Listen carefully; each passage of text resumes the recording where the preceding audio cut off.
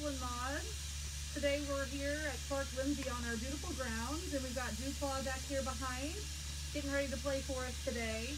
Uh, as most of you already know this, uh, this is Ethel and Maud's table, named after sisters Ethel, Ethel Clark and Maud Lindsey, who founded the Clark Lindsey Nonprofit Foundation. We feel very fortunate to have this time monthly to come, well, used to be together at the table. Now you're at your own table, hopefully, uh, enjoying a great meal. So we are still offering curbside meal pickup, and that's at the Illinois Terminal every third Wednesday between 10 a.m. and 11.30 a.m. Please call and RSVP if you plan on attending. You need to prepay by mailing a check-in, or you can buy our punch cards for $40. Happy to uh, send those to you in the mail if you send me a check. Please, please, please, people, make the checks payable to Clark Lindsey. I love that you send them the money to me, but I can't accept that. So please make sure your checks are payable to Clark Lindsey, not Sarah Hawkins. Um, let's see. Thank you to Dish Passionate for the awesome food today. I'm sure it's delicious. We hope you can join us next month, November 18th, for uh, meal pickup again from 10 to 11:30 at the Illinois Terminal. And our entertainment will be the Backdoor Cajun Band. Our menu will be bacon wrapped brown sugar garlic chicken, creamy goat cheese and squash penne pasta, mixed green salad with vinaigrette, dinner rolls, and seven layer magic bars. Thank you again so much for joining us today. And without further ado, Dewclaw. Thank you. Thanks, Sarah. Thank you,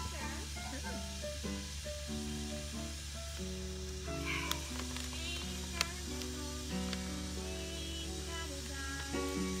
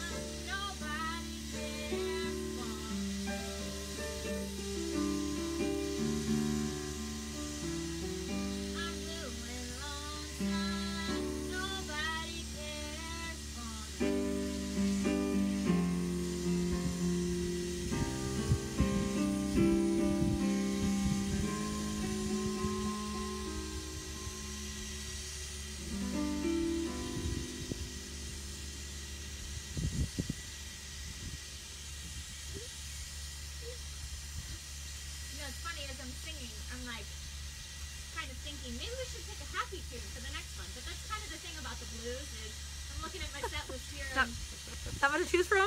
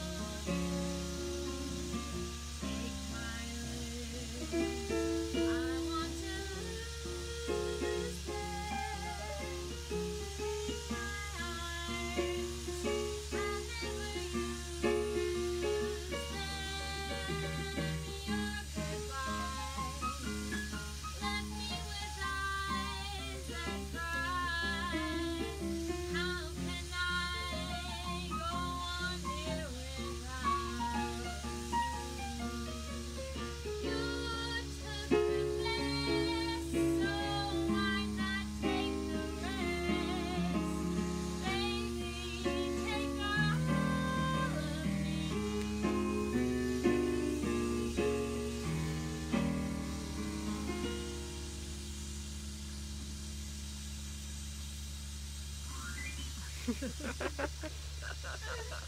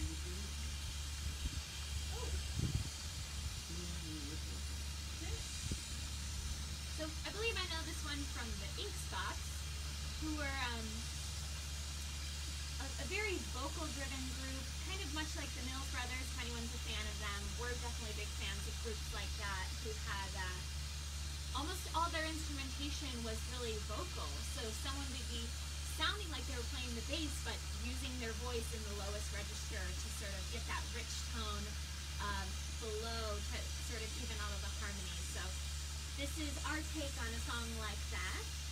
Um, and this one's called I Don't Want to Set the World on Fire. The, the protagonist of the song does want to set a fire somewhere, but not, uh, not the world, thankfully.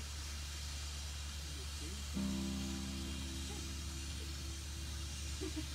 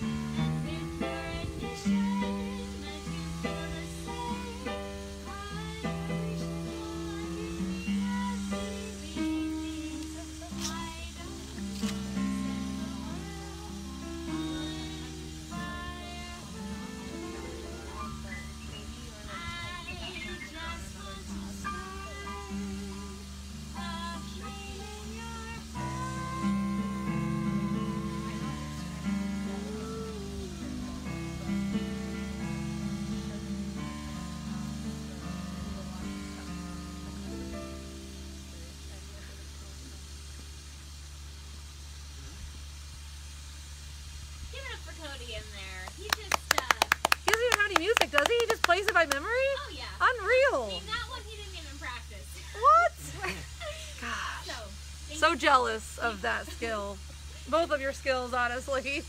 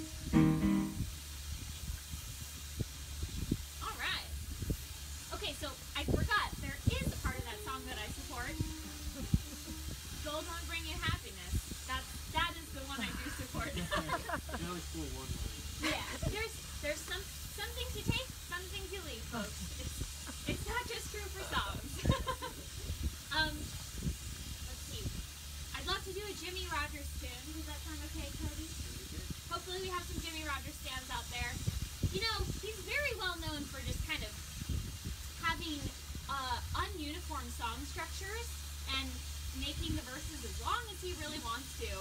So I do appreciate uh, singing this song because it, it has a bit of a different form than other classic jazz and blues songs where you go, you know, verse, chorus, solo, verse, chorus. So maybe if you're into music, you can kind of pick up on the nuance in this one too. This one's called Any Old Time. Thank you.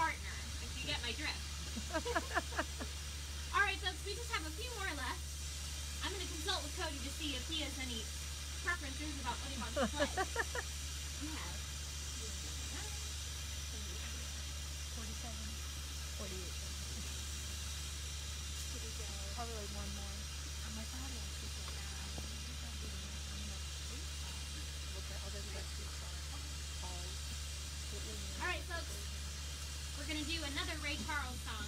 This one he is quite well known for, unlike the last one. Um, and it's one of my favorite uh, ballads of all time. Just uh, one of my favorite slow songs. This one is quite sad, but it's very beautiful, and it's called "Drown in My Own Tears." You may also know it from Aretha Franklin, who has an amazing version of this song as well. It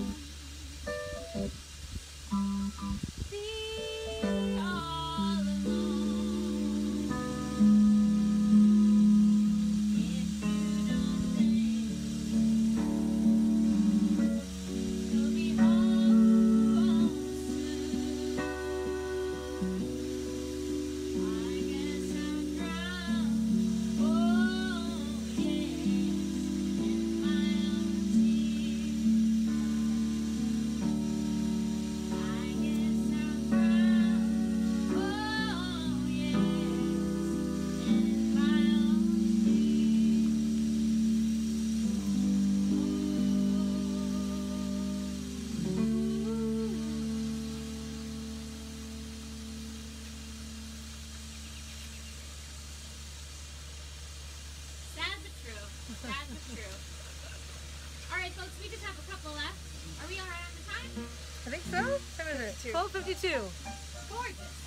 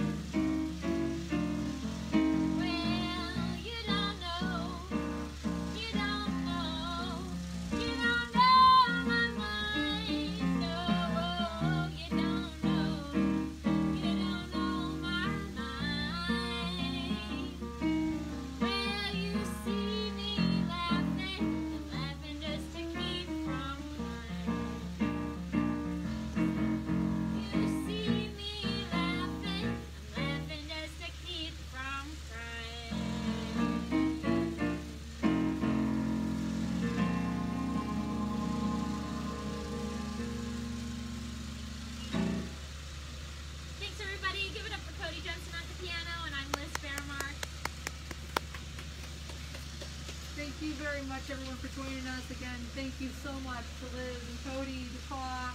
They were so fun today, and I hope you all enjoyed it. I hope you had a great meal. I hope to see you next month. Everybody stay well. Take care. Bye-bye.